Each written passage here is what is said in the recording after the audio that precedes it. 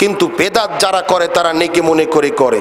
কারণ আপনাকে দেখায়, দুই হাতে মুসাফা করা সুন্নাত, তিন হাতে, চারে হাতে যারা মুসাফা করে, এরা নেকি মনে করেই করে। হালুয়া রুটি যারা খায়, সবে বরাতকে কেন্দ্র করে এরা নেকি মনে করেই খায়। এজন্য চোরের চাইতে বেদাতিরা খারাপ। রসুল সাল্লাল্লাহু আলাইহি ওয়াসাল্লাম বলেন কেয়ামতের মাঠে আমাকেই প্রথম তোলা হবে। আমার আগে কেউ উঠবে না।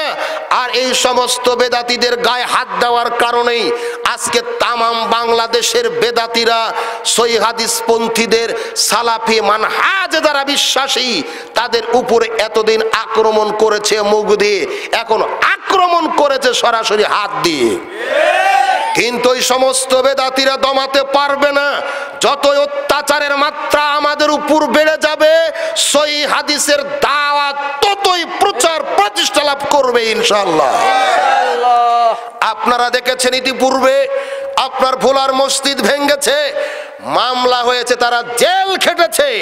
আমরা এত দূর চাইনি তারপর যা হবার হয়ে গেছে। আপনারা জানেন সম্প্রতি ফরিদপুরের সালথা থানাতে মসজিদ, মাদ্রাসা একসাথে ভেঙ্গেছে কারা? ব্যানার দিয়ে মাইকিং করে এই প্রতারকেরা, এই বেদাতিরা, এই অসভ্যরা, এই ধর্মের দালালেরা। মাইকিং করেছে, মসজিদ ভাঙতে হবে, তোমরা একাত্রিত হও। আপোষ মীমাংসার কথা ছিল।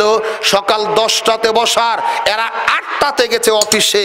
সিসি ক্যামেরাতে তাদের ছবি ধরা পড়েছে প্রমাণ করতে চেয়েছে। আমরা গিয়েছিলাম বসেছিলাম কারা ভেঙ্গেছে আমরা জানি না। সবচাইতে বড় বুদ্ধিয়ালা কে? তোমার ষড়যন্ত্রের চাইতে চক্রান্তর চাইতে বড় চক্রান্ত কার?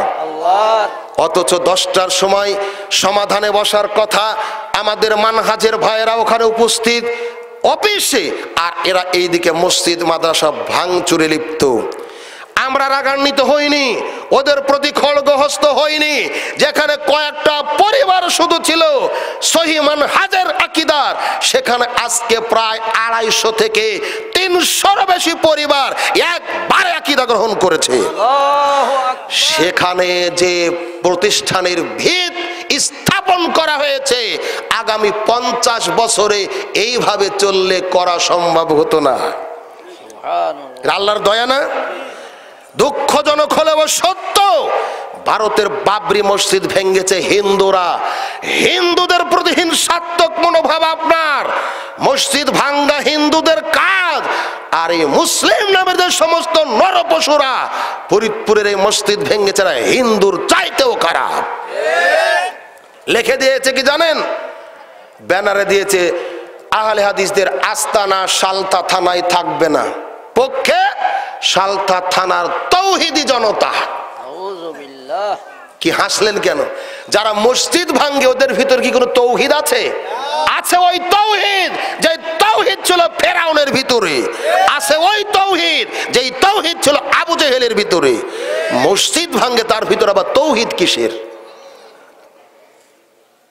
এই দেশের এক শ্রেণির ধ্বজাধারী আল্লামা আবার বিবৃতিতে লিখেছেন, সেখানে মসজিদ ছিল, এটা আমাদের জানা ছিল না।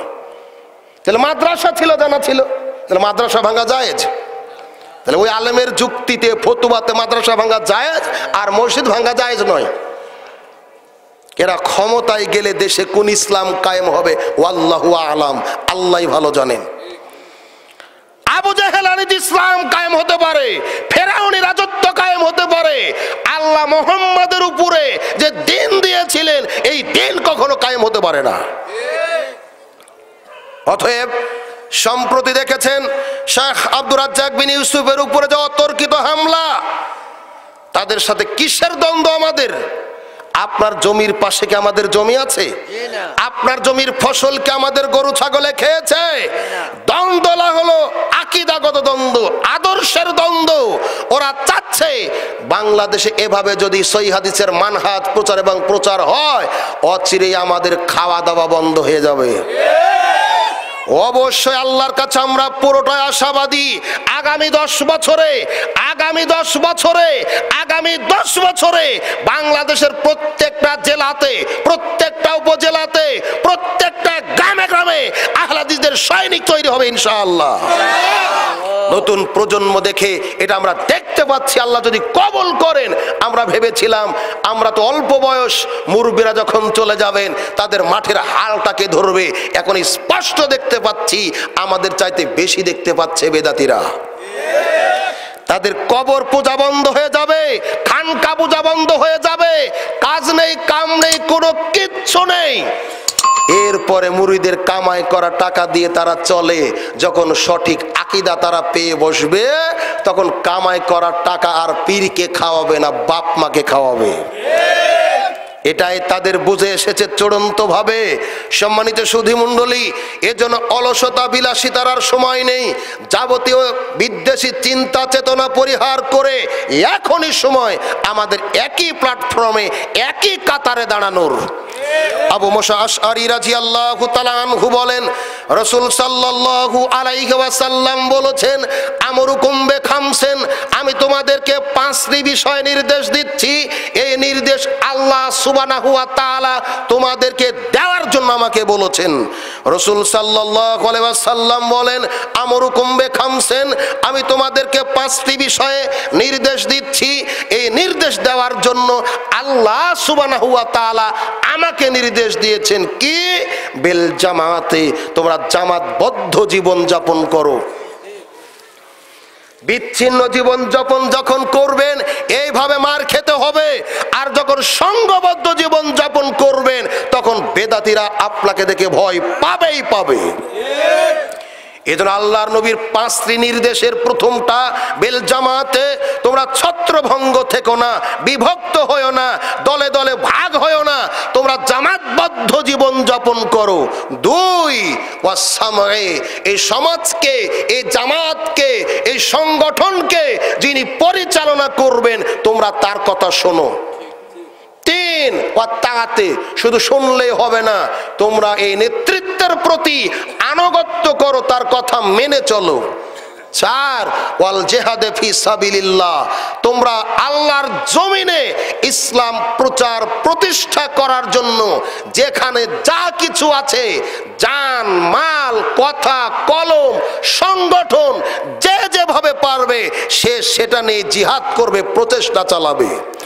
জিহাদ মানে রাস্তা কাটা নয়, জিহাদ মানে গাছ কাটা নয়, জিহাদ মানে চকু উপড়ানো নয়, জিহাদ মানে রক কাটা নয়, জিহাদ মানে বাসের ভিতর বোমা মারা নয়, জিহাদ মানে ট্রেনে আগুন লাগানো নয়।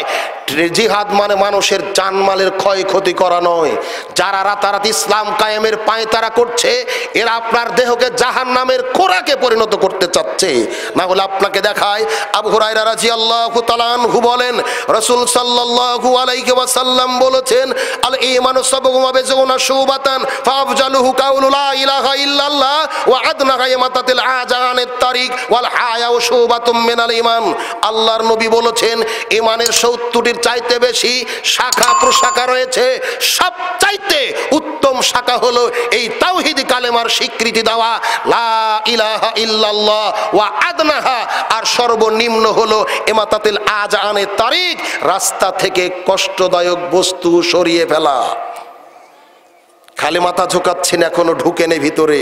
মাথা তো লুট করে রেখেছেন, ভ্রান্ত আকিদা দিয়ে। এই আকিদাগুলি ডিলেট করে সই আকিদাগুলি ঢুকান। রাস্তা থেকে কষ্টদায়ক বস্তু সরিয়ে ফেলা ইমানের অঙ্গ। গাছ কেটে রাস্তাতে ফেললেন, এটা শয়তানের ইমানের অঙ্গ হবে। আবু জেহেলের ইমানের অঙ্গ হবে, ফেরাউনের ইমানের অঙ্গ হতে পারে। মানুষের মমিন হতে গেলে যে ইমানের প্রয়োজন, এই ইমানের অঙ্গ কখনো হতে পারে না। আল্লাহর নবী বলেছেন, এক মহিলা যাচ্ছিল রাস্তা দিয়ে, দেখল একটা তো কুকুর। জিহবা বের করে হাঁপাচ্ছে। মহিলাটা বুঝতে পারল কুকুরটা পিপাসার্থ। শোনেননি? পড়েননি? আল্লাহর নবী বলছেন, এই মহিলাটা ছিল পতিতালয়ের বেশ্যাখানার দেহ ব্যবসাকারী। কুকুরের তৃষ্ণা অনুভব করে নিজের পায়ের মোজা খুলে ছিঁড়ে ছিঁড়ে রশি বানিয়ে অবশ্য অবশিষ্টটুকু নিচ থেকে এভাবে বাদিয়ে কূপের ভিতরে নামালো, ভিজিয়ে তুলে চিপে চিপে কুকুরকে পান করায়। পান করালো ততক্ষণ, কুকুর পান করল যতক্ষণ। এরপর কুকুর আর পান করতে চাচ্ছে না। মহিলা বুঝতে পারল ও তৃষ্ণা মিটে গেছে, চলে গেল। আল্লাহর নবী বলছেন, কুত্তার প্রতি দয়া করার কারণে দেহ ব্যবসাকারী বেশ্যাখানার মহিলাকে আল্লাহ ক্ষমা করে দিলেন।